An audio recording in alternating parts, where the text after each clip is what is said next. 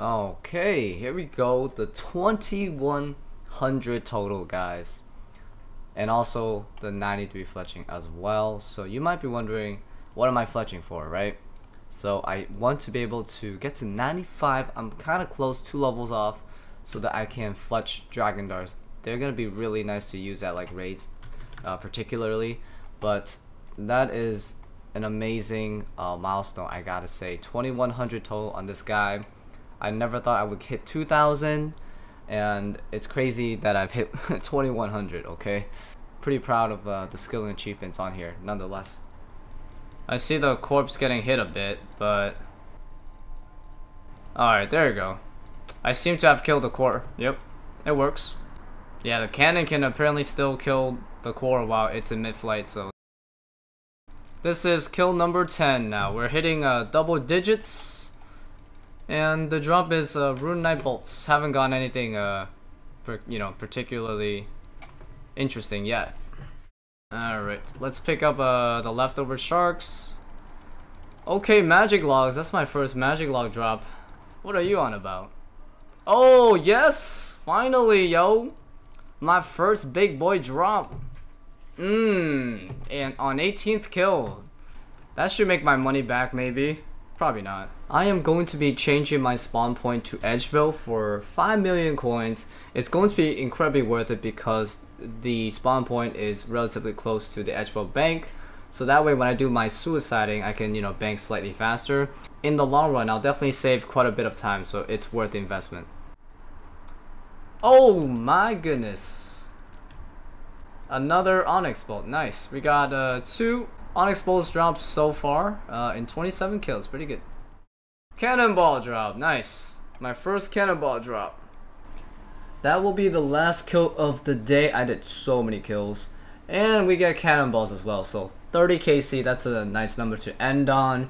And I gotta say, I am quite comfortable uh, doing this boss now. Still need to do quite a bit more kills in order to perfect the muscle memory for this boss pretty enjoyable at the moment so I'm looking forward to you know going back to Corp again another day.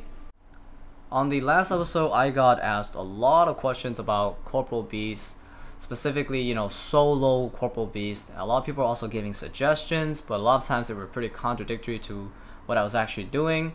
And anyways after uh, you know doing Corporal Beast uh, getting the 30 kills I have pretty much perfected uh, my setup and it's probably gonna be the setup that I'll be using for the remainder, you know, of the Corporal Beast kills.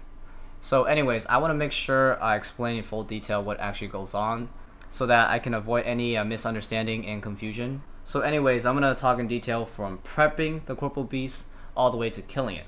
The first phase is lowering the Corporal Beast's stats. The second phase is suiciding the food on the ground so that you can have enough food for the actual fight. And then the third phase is actually killing the boss. So let's talk about the first phase, getting the boss's stats down to the desired stats. So the goal of this phase is to reduce Corporal Beast's defense to zero. And to do that, it's simple. You need the Dragon Warhammer spec. So right here, this setup gives me the highest chance of landing Dragon Warhammer specs. And I want to land the spec five times.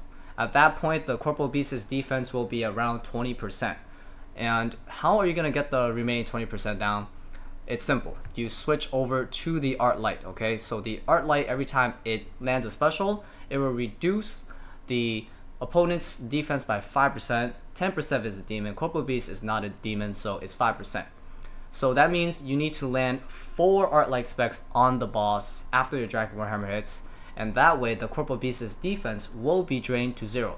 And also its attack and strength will also be reduced by the 5% uh, for each spec as well. So its offensive stats are slightly lowered as well.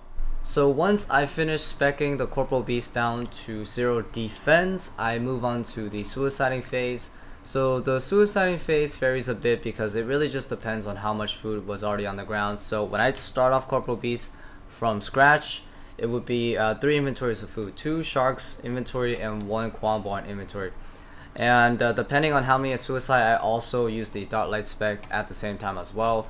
That way I can just lower the Corporal Beast's uh, attack and strength a little bit more just to make the fight a little bit easier. And once the suiciding part is done, and then you go to the final kill. And this part is where I switch into this gear right here, okay? So this is the gear that I use to actually kill Corporal Beast. So a lot of people were saying, oh no, don't bring uh, the Armadyl because it actually lowers your accuracy. But we explained earlier that the whole point of the prepping is to reduce Corporal Beast's defense to absolutely zero. So it doesn't matter that the Armadyl equipment lowers your accuracy because Corporal Beast's defense is zero anyways. So you're always basically gonna land. And also I bring with me the Odium Ward and the Cold Wand. Why the Odium Ward? Why the Cold Wand? I will show you. If I put these two on, look at my magic defense. 189. That's a big deal. So normally it's 145. Okay? And Corporal Beast, his main attack is basically magic, so you really want to have the best magic defense possible. The Odium Ward and Cold Wand switch is incredibly useful for the fight just because I get to evade a lot more of Corporal Beast's magic attack. And that is essential to fast kills and survivability. So I can switch from the Zammy Spear to the Odium Ward and Cold Wand in between hits as you can see in the video right now. That way I can do maximum damage and then when Corporal Beast attacks I have the maximum defense to tank the hits. And also when I am in the eating phase I can also put on the switch too and that way I don't get hit as much. Just because when you're eating you can't attack anyway so you might as well have the best defense and also when I need to pick up food on the ground I just wear that as well so that way I can tank more hits since I can't even attack when I'm you know looting food. I initially started using the Dinh's Bulwark as like the tank switch instead, but I realized that the Dinh's Bulwark is nowhere as good as uh, the current setup because Dinh's Bulwark, as you can see, has less magic defense by a lot. And even the defensive mode, which reduces incoming damage by 20%, is not good because when you use that defensive mode, the moment you switch out of that shield, you cannot attack for the next 4.8 seconds. And that sucks because that means the kill just becomes a lot slower so so throughout this video uh, before this clip and after this clip you'll see that I have uh, the Bandos God Sword and actually you know use it quite a bit uh, starting today though I'm not using the Bandos God Sword anymore at Corporal Beast just because I realized that the Bandos God Sword is just not useful for me at all at Corporal Beast okay so the main reason you want to use the Bandos God Sword at Corporal Beast uh, is to lower the Corporal Beast's magic stats. So that way his magic attack, if you lower enough, can't even hit you. It'll miss and the damage it'll do to you is very minimal. Now there is a catch, okay? In order for the Bandos God Sword to actually lower the magic stat of an opponent, their attack strength and defense stats has to be zero first, okay? So the best way to lower Corporal Beast's attack strength and defense to zero is actually with the Arclight it is undoubtedly better than the God Sword when it comes to lowering the melee stats of Corporal Beast. Now, in order for the Arclight to lower Corporal Beast's melee stats to zero, you actually have to spec the boss about 20 to 22 times, depending on how fast you do it. And unfortunately, specking that many times takes way, way too long. So yeah, that would just make the prep time to, you know, kill Corporal Beast way, way too long for a regular Iron Man. So Ultimate Ironmans would use this because they actually need to lower the Corporal Beast's magic stats because you know their supply is limited in their inventory and they can't afford to suicide and drop food on the ground like normal Ironman can. So ultra Ironmans have to do that method and use the BGS. But for them, they only get up to maximum 4 kills a trip, more like realistically probably 3. Now for me though, I don't even have to use a Bandos God Sword I realize. All I really need to do is 5 Dragon Warhammer specs and 4 Alt specs just to lower the boss's defense to 0 and the rest doesn't really matter. And with my method, I'm getting basically one Corporal Beast kill every 10 minutes, so that's about 6 kills an hour. So if I use the God Sword, it actually would slow me down. So hopefully this explains everything that you wanted to know about Corp, why I do it this way, and uh, clear any confusions. Hmm. Oh, yes!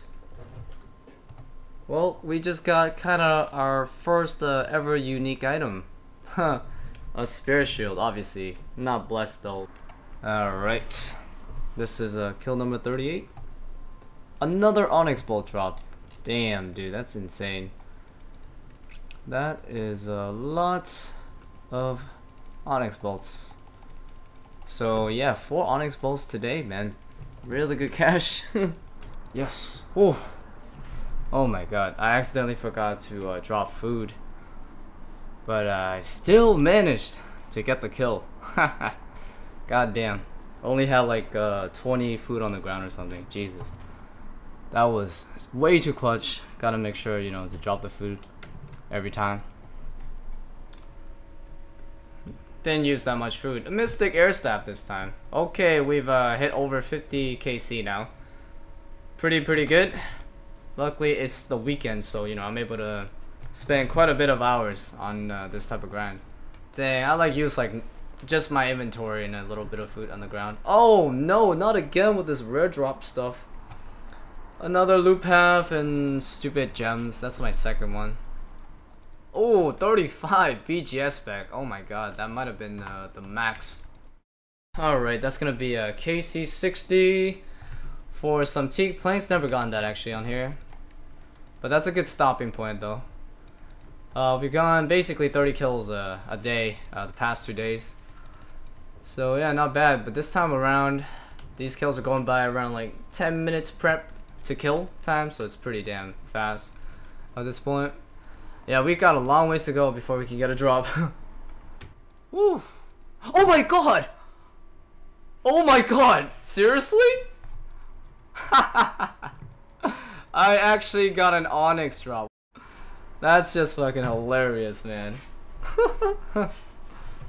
oh my god. Where was this Onyx when I needed uh, it for my uh, Emma Torture? So I decided to bring to you guys another video rather quickly. I think this was within like two or three days. Normally it's like four to five days, I would say. But I wanted to get a lot of the uh, Corporal Beast beginning content out of the way and also like the information stuff regarding like the grind out of the way. So then we're all on the same page, you know, I want to make sure everyone knows what's going on uh, regarding the Corporal Beast. Corporal Beast grind is uh, going to be very time consuming and the amount of clips that I'll be able to get from it is from my experience as a content creator very minimal. So yeah, I hope to see you guys within like four to five days. So I am enjoying Corporal Beast, so I'll definitely be grinding this boss for quite a while. Hopefully, you know, by the time I get bored, we'll have like a spirit shield or something. So right now, I'm still not sure how to blend in the Corporal Beast grind with the Raids grind, the God Wars grind, uh, with the limited time that I have. So I hope to figure that type of schedule out soon within like this week, and then maybe we'll have like a, a good pattern of videos once again. If you want to stay up to date with the series, feel free to subscribe to the channel. And thank you guys so much for watching as usual, and I hope to see you guys soon with another video in a few days. Take care guys.